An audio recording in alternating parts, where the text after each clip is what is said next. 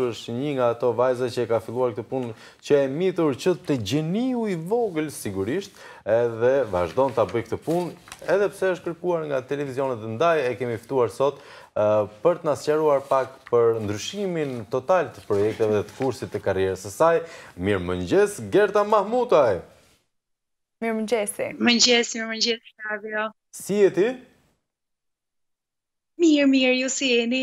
A, si jemi në amin? Mirë të jemi. Mirë, mirë jemi dhe ne, mirë jemi ne, shoh që, ndërkohë... Pa shumë mirë më të jemi. Gerta, faleminderit shumë, edhe ti dukesh një mrekulli, ndërkohë, dua të të pyes për diçka, ti kishe një moment të afrimi me televizionet shqiptare, dukej sikur do ishe nga ato këngëtaret që janë dhe në ekran, pra po ndiqje pak a shumë le të themi kursin e Eneda Tarifës për të përmendur një shembull apo koleges Enxhi Nasufi që po bën orën e Tiranës në këto momente por vendose t'i përkushtohesh më shumë karrierës tënde muzikore, live-et shpërthyen dhe pastaj pandemia. Na trego pak si e përjetove këtë këtë moment, këtë kalim kështu të të detyruar.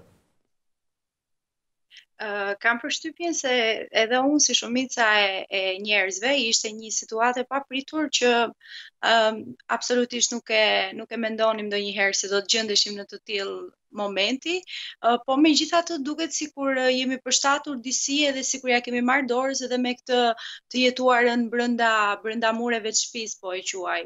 sepse sigurisht nuk është e thjeshtë, është totalisht një ndryshim i stilit të jetës për të gjithë ne. Tani po detyrohem që shumicën e aktiviteteve që dikur i kryeja jashtë, tani t'i përshtas në hapësirat edhe në në momentet dhe domethënë në ambientet që shtëpia mundet të më lejojë. Sigurisht, sigurisht. Më thuaj. Gerta kisha një pyetje, për çfarë të ka shërbyer më shumë kjo periudhë? Kryesisht.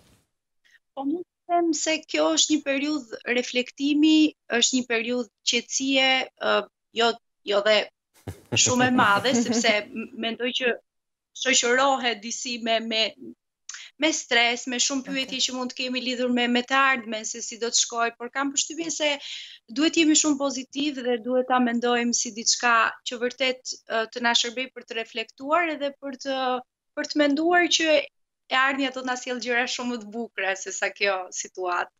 Ndërkohë një pyetje e detyruar showbizi me kë je karantinuar? Normal të lamë të fejuar. jo, për momentin unë jam, jam tek familja te prindërit e mi, okay. po që shyqyr zotit kemi ato hapësirat e, atë atë lejen që mund të dalim edhe okay. mund ta kompensojmë. qartë, qartë, domethënë, na vjen mirë që i fejuari yt ndodhet në Tiranë dhe të mjafton deri në ora 5 e gjysë takimi për ta kultivuar këtë, këtë moment të, të marrëdhënies. është si ia bëni, si, se s'ka më as kafe tani, as vende ku të shkosh, as, as vende ku të fshihesh. Po, e pim këshu virtualisht kafen, ja, siç po flasim bashkë tani. Qartë, kjo nuk është gjëja më e mirë në një fejesa. Ka pasur një moment që u bë më e lodhshme seç duhet? Po, jo, në një moment barimi nervash, mes jush të dyve? John Van Rajt, që më sta nga trojnë e mirë, në? Patraj, po.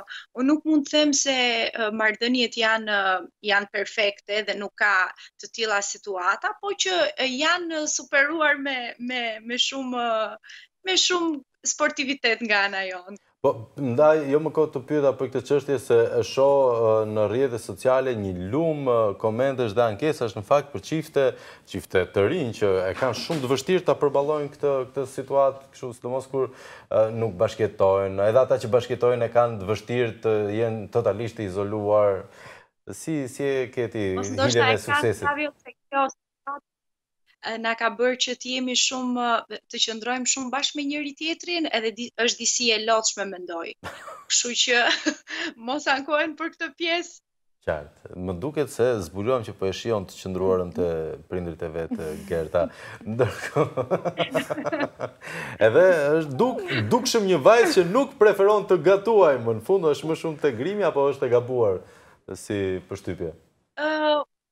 Unë eh, jam pjesërisht tek të dyja, nuk do thoja se jam më shumë te njëra apo te tjetra, përpiqem që pjesën e parë të ditës paraditen eh, të gatuaj dhe të merrem me punë shtëpie, mm. uh, si si çdo vajzë, uh, Po kjo karantina më ka bërë që të bëhem një amvisë shumë e mirë se nuk ia kam thënë fare kësaj pjesës së gatimit. Kurse për make up kam qenë gjithmonë e e, e dhënë, më ka detyruar edhe puna në një farë mënyre. Kështu që kjo karantina po shërben të të nxjerrim në pah shumë shumë shumë pasione. Sa herë e ke menduar, më fal, kishe pyetje? Apo të vazhdoj jo, unë? Jo, vazhdo, vazhdo. Sa herë e ke menduar herën e fundit që ke kënduar live para publikut? Dhe kur ka qenë, ai tregoje detaj. ka qenë data 8 mars dhe unë në datën 9 mars jam karantinuar, kam filluar izolimin total. Mhm. Data 8 mars ishte sigurisht festa e e, e nënës, edhe ajo ka qenë hera e fundit që ne kemi kemi kemi pasur live. Më mm. mungon shumë sepse isha mësuar që çdo fundjavë të të gjendesha live në në Tiranë ose jashtë saj, po që kam përshtypjen se me me shpresë dhe me besim do t'i kthehem një ditë.